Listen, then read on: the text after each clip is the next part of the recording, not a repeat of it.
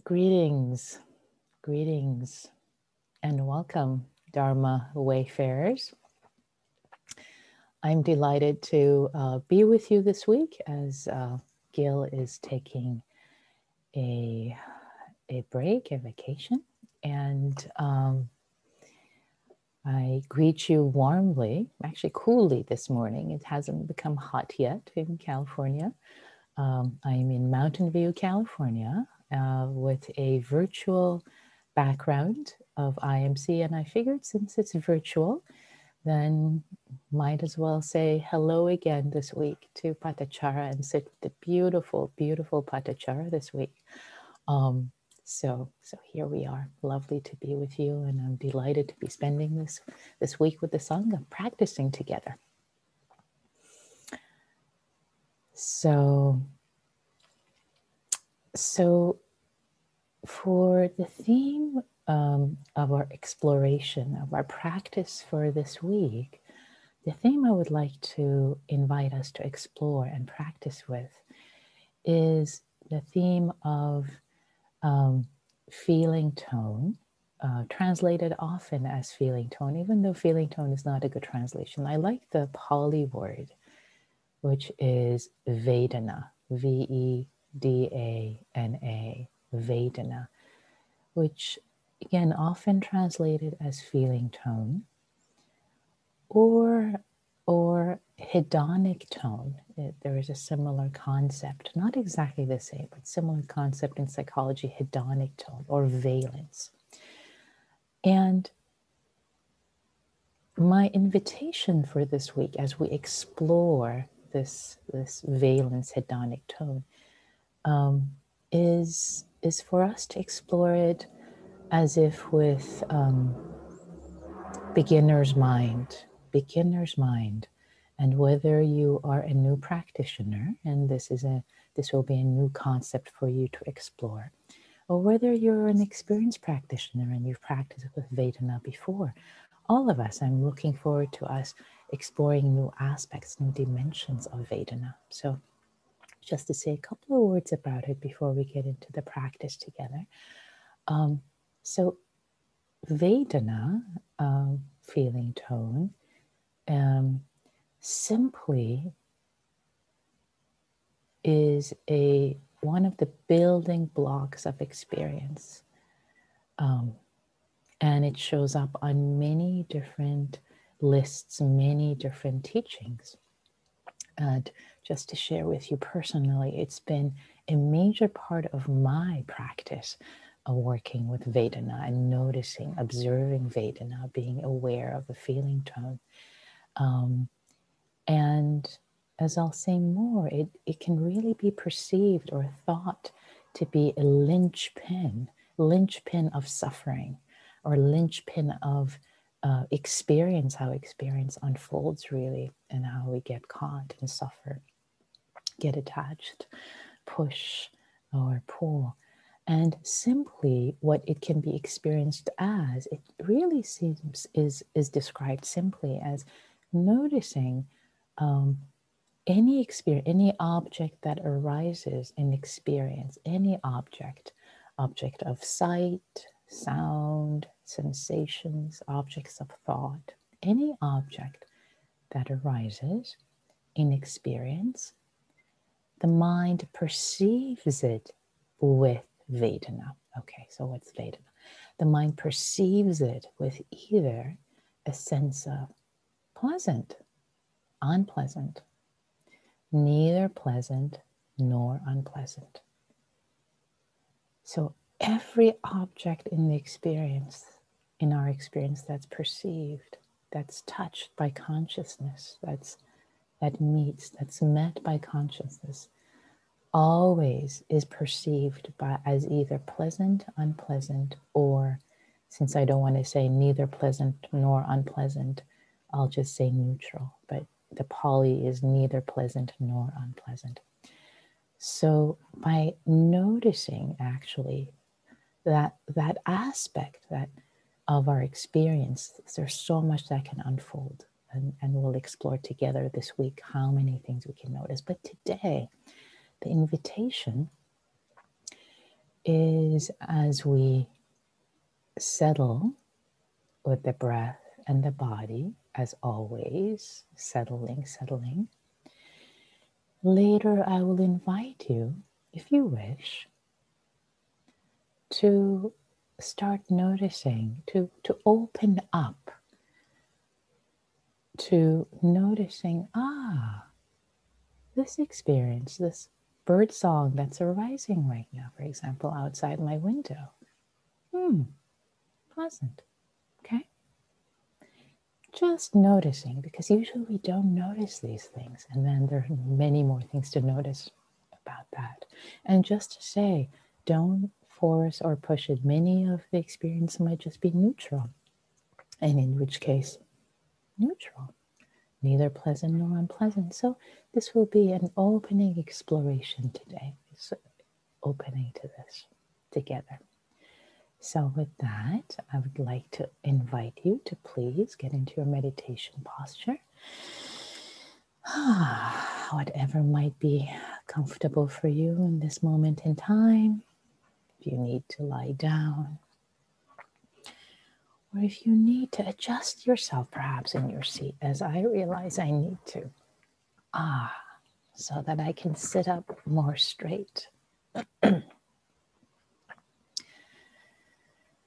Allowing the base of my body, my sit bones, my bottom, ah, to land to really land and hug the chair, the cushion.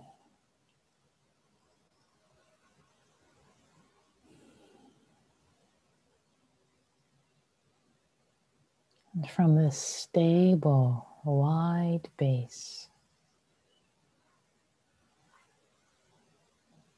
inviting, inviting the spine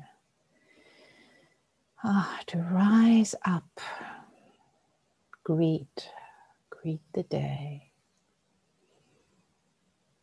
as a vertebrae by vertebrae.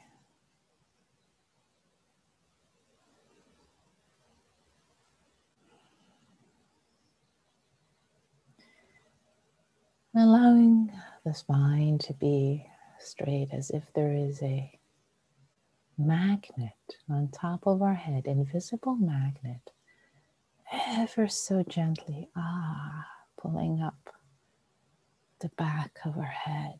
Mm, so it's effortless. We don't have to do anything.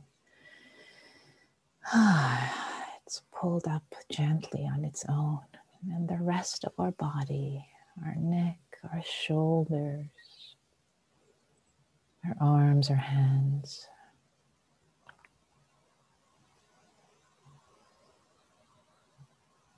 all of our muscles can relax, can drop, can deeply drop.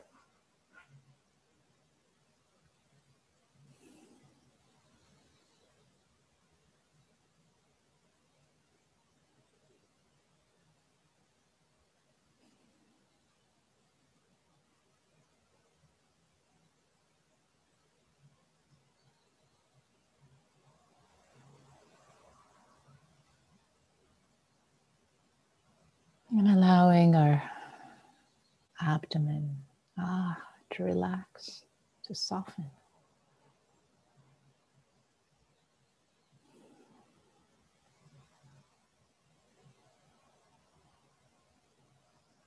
Receiving the breath, receiving the breath. Noticing the abdomen. And the lower abdomen, the sit bones, gently noticing how the breath is received. And with each exhalation, ah, landing more deeply.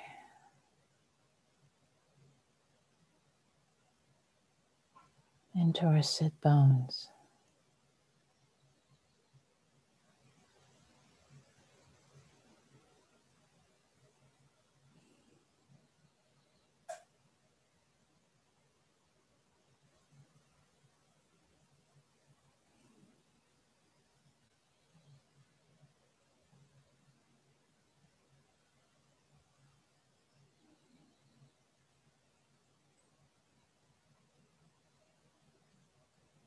Addition to the abdomen and the sit bones, inviting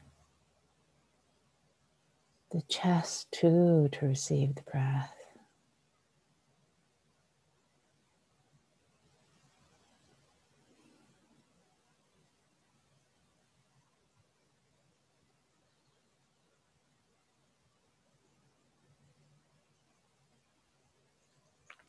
And letting it happen naturally, not so effortful.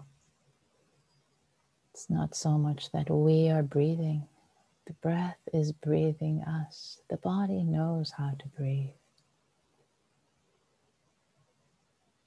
So letting the body breathe as it knows and simply becoming aware. The whole upper body is receiving the breath.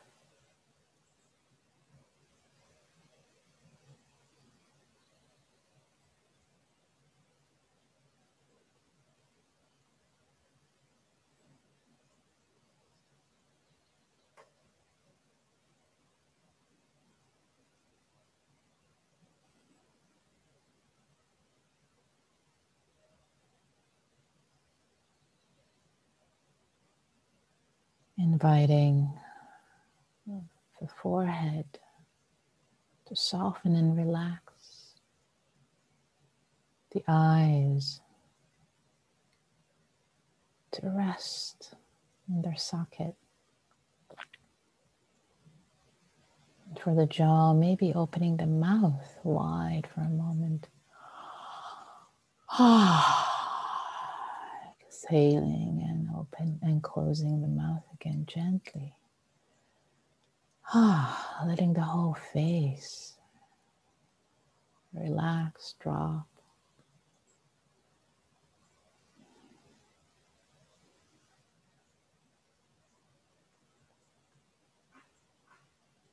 Inviting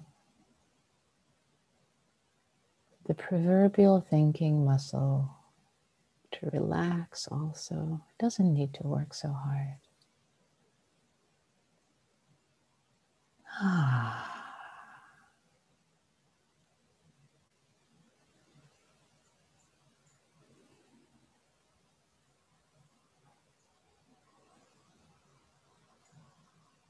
Hmm. Relaxing, softening the shoulders and arms and hands once again. Letting their weight drop onto your lap.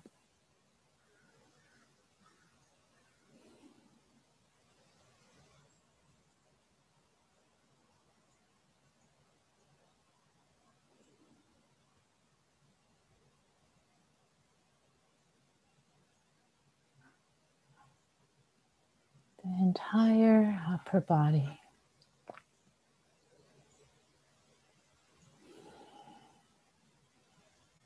Soft relaxed with every out breath, letting go some more.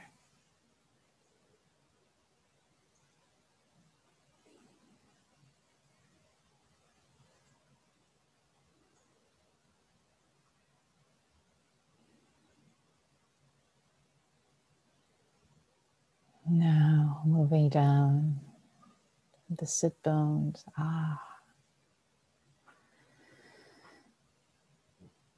Landing, arriving again and again in your sitting posture. Inviting the upper legs, the knees, the lower legs and feet.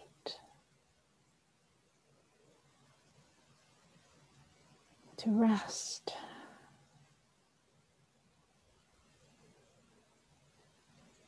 Settle.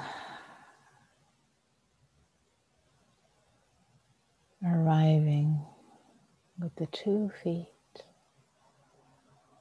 with the entire body,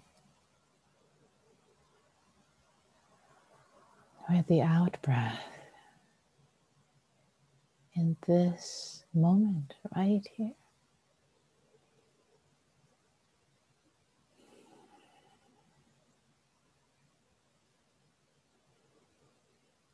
Right now, this moment of being human.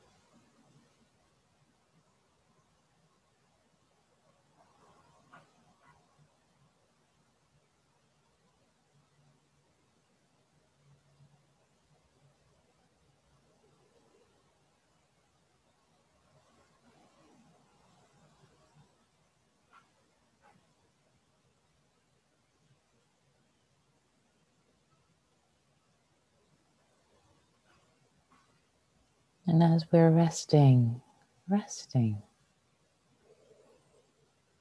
receiving the breath and the body. One breath at a time. Practicing with the first foundation of mindfulness, the body, the breath.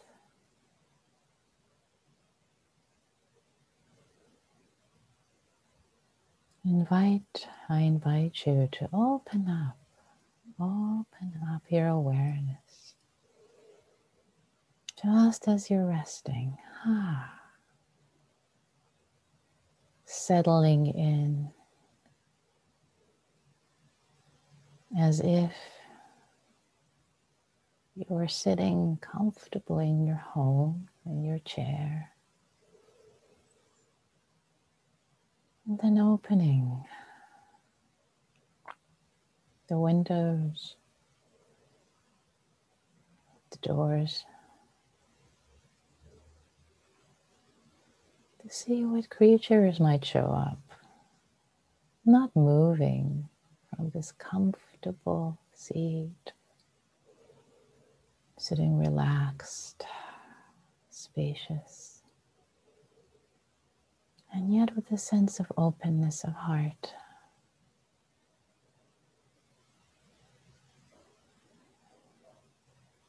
Hmm. If nothing shows up, it's okay. You're resting, the breath, and the body content in each moment. Maybe in a little while something shows up in the window. Maybe a bird or squirrel kind of shows up in the door of mind or the ear door or the sense door of perception in the body, sensations. These different doors of perception. As different objects show up. Simply noticing them. And noticing if they appear pleasant, unpleasant, or neutral. How are they perceived?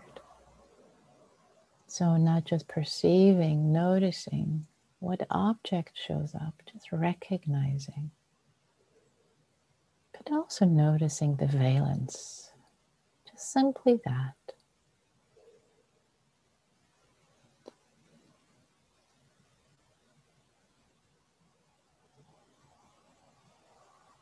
No need to analyze why it's showing up. Just noticing.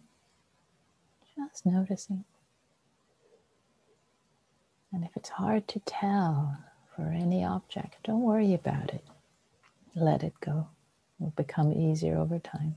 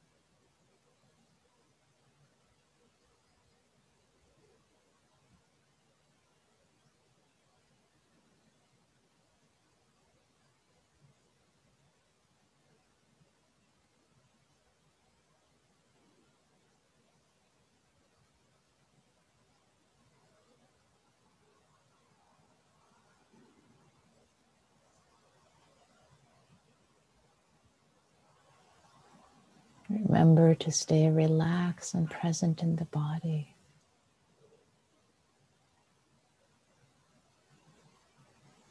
And let these perceptions arise on their own after you've dropped in the inquiry. Don't make it effortful.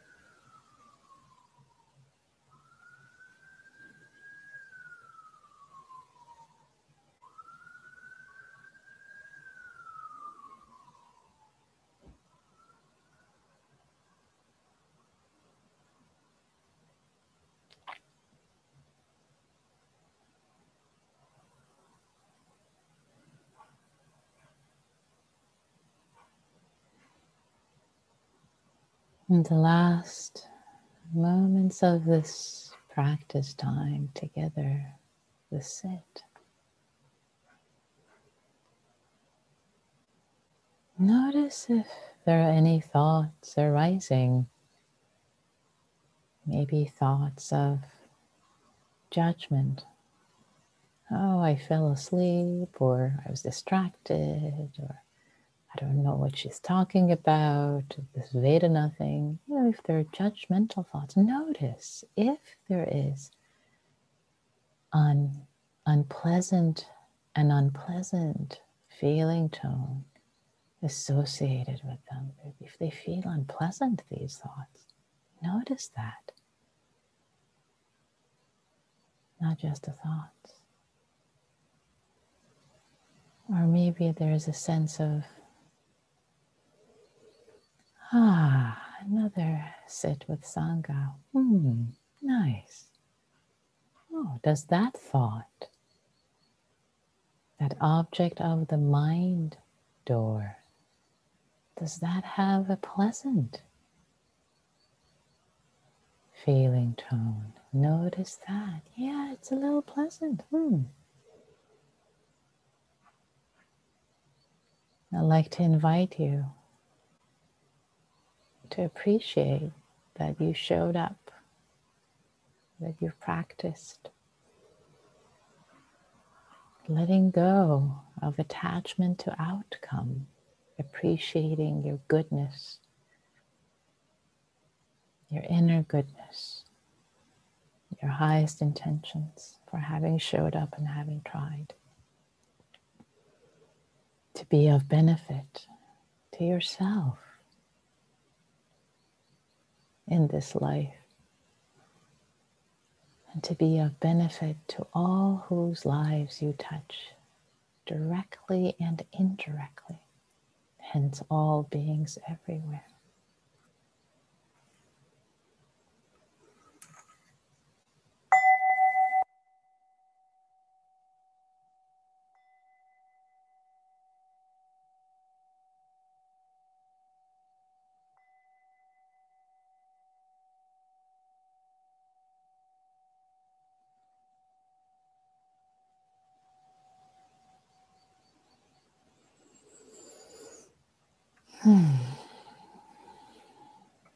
Thank you all for your practice.